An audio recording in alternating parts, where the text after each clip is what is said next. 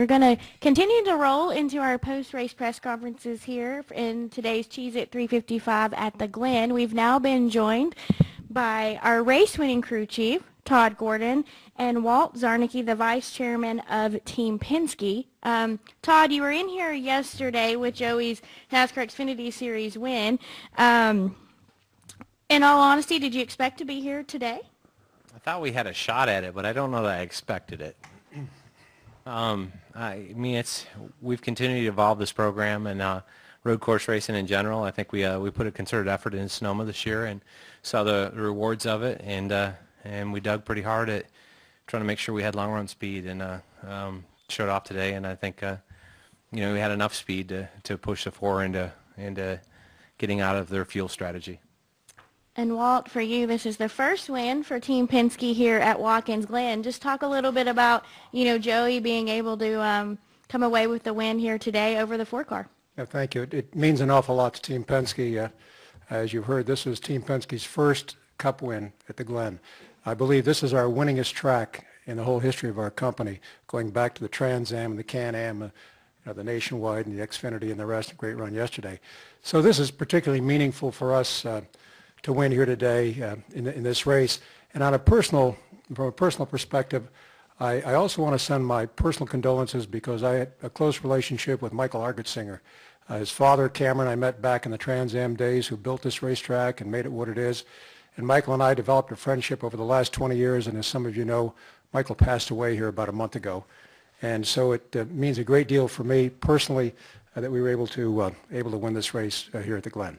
So, so for Joey to do it, you know, it's, it's Team Penske. Uh, Joey's done a great job, but Todd and the whole Shell Pennzoil crew, uh, I knew from the beginning, I just felt comfortable and confident all day long that we had a real opportunity to win here today.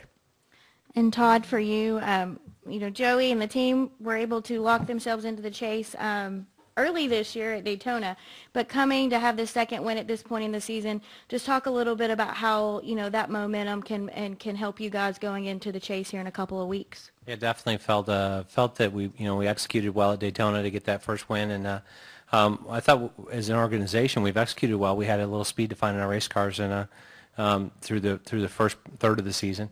Um, through the last probably six weeks, I feel like we've we've found some more speed. We've we've figured out where we're where we're lacking a little, and, and we've we've had more speed, but uh, uh, we've we've had a lot of bridesmaid stresses here the last month uh, with both Joey and uh, and Brad finishing second at, at several places. So um, good to get back to victory lane and, and, and build the momentum going forward into the chase because we've only got a few races left. Right. We'll go ahead and take questions for Todd and Walt. If you have one, please raise your hand and state your name and affiliation, and we'll start with Kyle. Kyle Magda, Race Chase Online. Todd, you were in here yesterday. You talked about uh, growing up in this area. Uh, where does today's win compare to all the ones in your in your uh, career as a crew chief? I know you, this is your third one here at the Glen. Yeah, it's uh, this one's pretty special for the Glen wins. This is uh, this is this is the the top of it. Obviously, uh, in 11, it was it was pretty pretty uh, pretty big for me to win back home. That was the first win here in the nationwide series then. Um, but uh, to come here and execute on a cup level is uh, is is awesome because it's it's back home. Uh, you know, this is this is New York State, and this is two and a half hours from where I grew up. I came and watched races here before I moved south to go racing. So, um, and I love road course racing, uh, not just because of here, but I think it's a different, you know, it's a different venue for us. It's a different mindset to, to what you've got to do with a race car, and and it brings out good execution and great race car drivers, and uh, I think we had that today. All right, I believe we had a question. Okay, go ahead. I just want to follow up here. When was? Do you remember the first time you came to Watkins Glen? Yeah, I do. Um, you know, it's it's it's.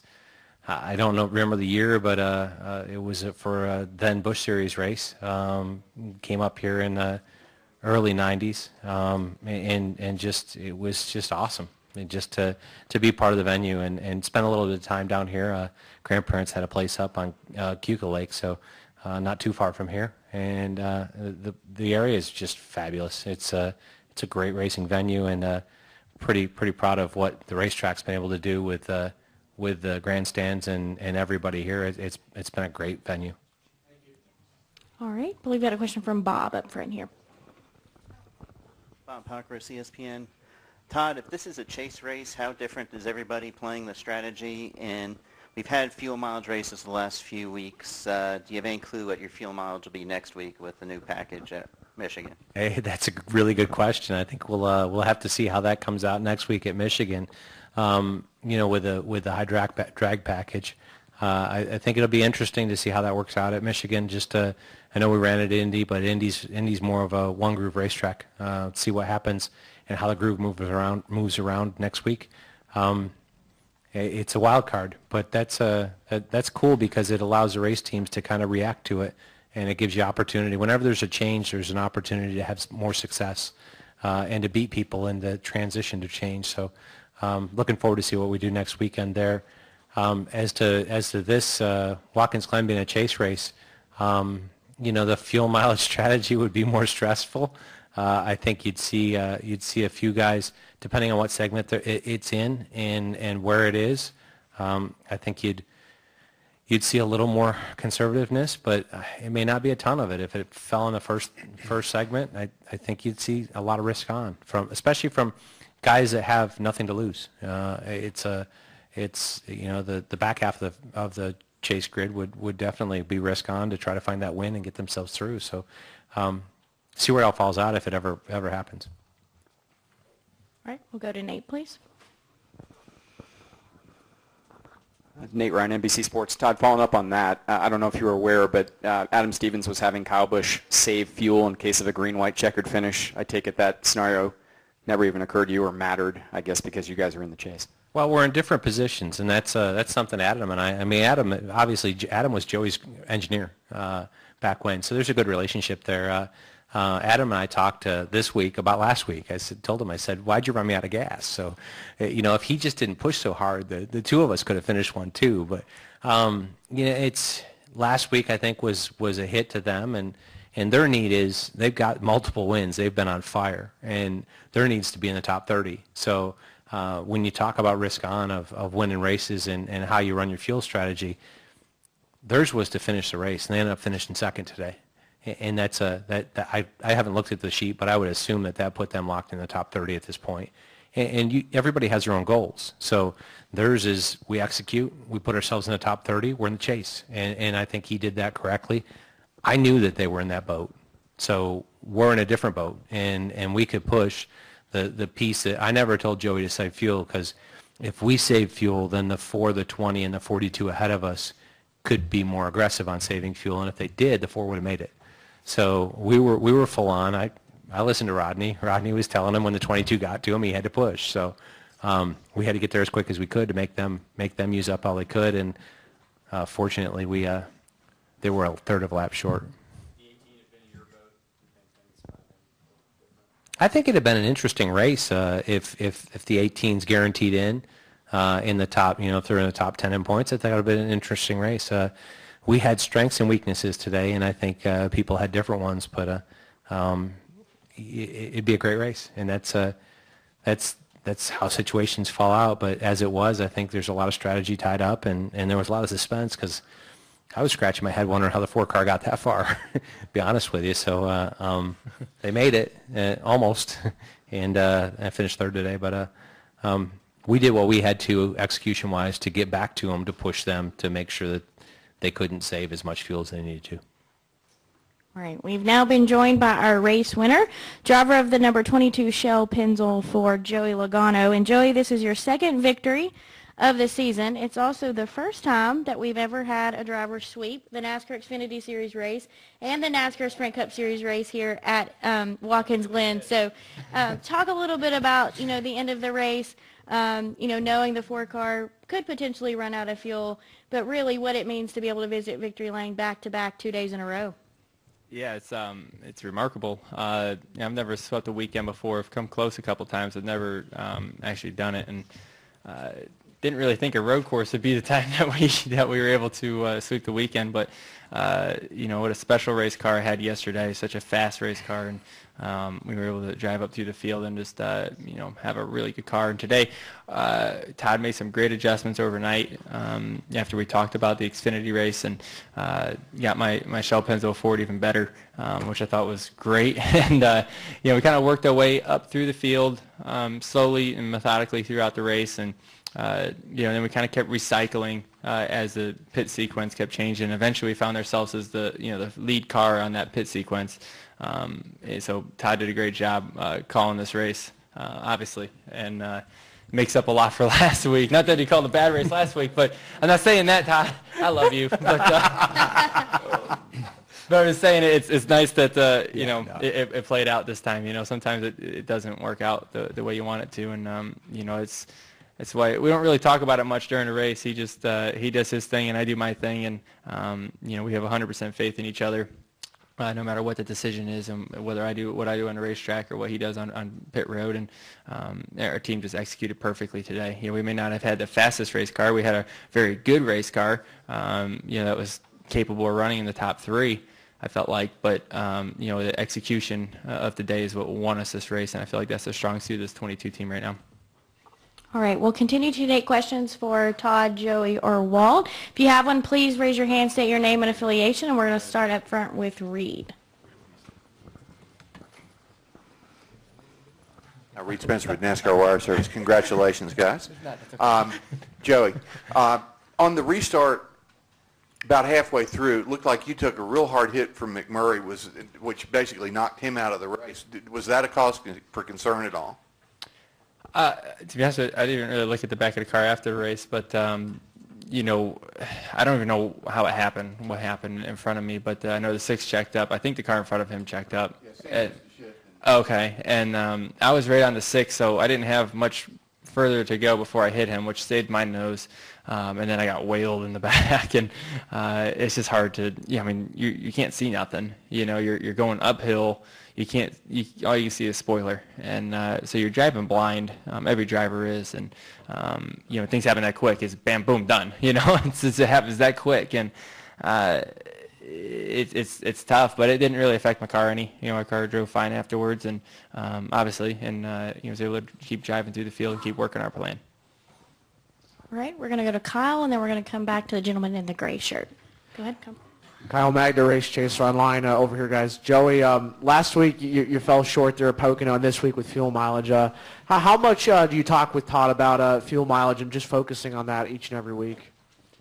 We talk about it. I don't think we talk about it a whole bunch. Um, you know, and I was, I was, we were joking on the red flag and I said, hey, because I, I, get confused on what he's thinking because I don't really know when I'm just driving the car around in circles and he's calling the race. And I asked him, hey, uh, do you want to tell me the game plan or just want me to drive and I'll figure it out later on? He's, and he gave me the yeah. So that means everything without saying anything. I know that. And uh, so the, the, cool thing about our, the chemistry that Todd and I have and, and really this whole 22 team have is that you know, we could communicate without even saying anything. You know, we, we, we know each other very well, and that just comes from spending a lot of time together and building those relationships up. And, um, you know, I'm saying it's not just between the, the, driver and the crew chief, but it's the whole team. You know, they're, they're a real family. You know, they hang out together away from the racetrack, and I think that shows uh, every week. And, um, you know, they have a lot of fun together. It's not very often you have a team that, has a lot of fun. It's also very successful and understands how to work hard, and uh, that's what we got with this this 22 team, and, and really all of Team Penske. The way we all work together and build fast race cars, it's it's very fun to be a part of. And you talked yesterday about running the uh, the Xfinity Series race just to get more track time. I mean, did you think you'd get a road course victory with all the, um, the additional track time you've gotten with other races like at Sonoma and also here at Watkins Glen? Just gotta keep trying. Eventually, eventually, you hope you break through. And um, you know, I, I said in here yesterday. I remember the first time I came here, and I was so frustrated because I didn't know how to go fast. You know, a lot of times you can point out an area you're you're slow and know what you need to go faster, and I was lost. And um, it just takes a long time to figure out these racetracks and figure out what you need in your car and be able to communicate that. And um, we put a lot of a lot of work into road courses, and in particular Watkins Glen, um, on, on trying to build a fast race car and understanding what we got to do. And um, you know, it, it, you know, hard work equals results. You know, we, we say that all the time at Team Penske. It's a quote that's up on the on the in the gym that we, we read every time we go in there, and uh, it, it really does. You know, it's something to live by. All right, go ahead.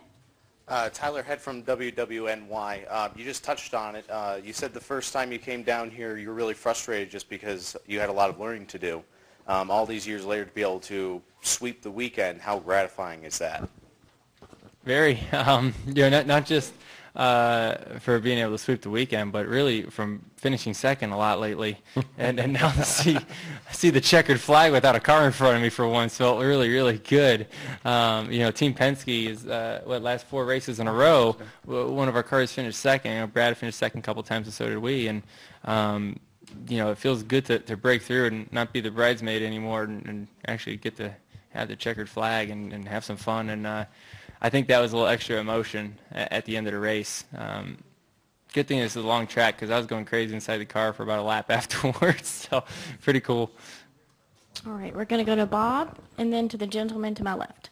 Uh, Bob Pockrass, ESPN. Uh, Joey, uh, is it is it um, winning a, a fuel mileage race? Um, I guess can you compare the feeling of winning a fuel mileage race versus losing one, and just you know how. Uh, Losing sucks a lot more than winning. yeah, but I know that. compare but, that. um, I guess you know, is it? I mean, just how stress. I mean, if you knew you were going to win a fuel mileage race 50% of the time, would you? Would it be fun to do? I mean, would it be with, with all the stress and trying to manage it, or is it frustrating even when you're winning it? 50%? I'd take winning 50% of the time anytime. to that's, that'd be a hell of a record uh, to be able to do that. And, um, you know, to, to win a fuel mileage race, most of the time, you have to have a fast car as well. Most of the time. You know, you, you have to be running up in the top five. You know, I think Matt was running fifth last week or something like that, maybe even closer to front when he won. That's not because you know he had a fast race car. You know he didn't really luck into it. It's not like he was running 20th and he won the race. You know he had a fast car, he won the race. Today we had a top three car. We executed the plan and uh, and, and we won the race. You know, you, you know coming down to these things at the end of the race, and you need a caution, or, or you or you want it to go green, and and you know whatever ending you're on, you just gotta work the plan. And if it doesn't work out, oh well, we swung the bat. You know, and that's that's really the the position that we're in right now um, you know, with where we are in points and with with a win, you know, we got to swing the bat. What do we got to lose? You know, if we don't make it and we finish 30th, oh well, you know, we, we, we tried to win the race, you know, and then um, we're, we're fortunate to be able to race that way right now for the next few weeks, um, you know, and, and today is fun to be on the know you have enough gas and be aggressive instead of being a, how much can you save and you think you saved enough. And I never, I'm not really good when I'm on that end. I got I really have one speed, and it's just go. And Todd knows that, and it's hard for me to check up. It's really hard for me to check up, and so uh, when when you hear that, you know, we're, we're you know right on, right on it for with gas, you know, you, you just say, well, I'm gonna drive this thing hard, and uh, you know, it's kind of where I excel. All right. I believe you had a question over here to the left, and then we'll come back to Jim Utter. Steve Evans, Race Chaser Online, uh, for Joey or Todd or, or both. Um, another year working together. Um, you guys get the win today at Watkins Glen, only a few weeks away from the chase. Do you guys feel that you're in an even better place as a team than you were last year heading into the chase uh, with a couple of wins now and a sweep at, at a road course? Um, I, I would say if you look at our statistics, it would say yes. Um, we've got more top fives, more top tens, more poles, uh, same number of wins we had at this point last year.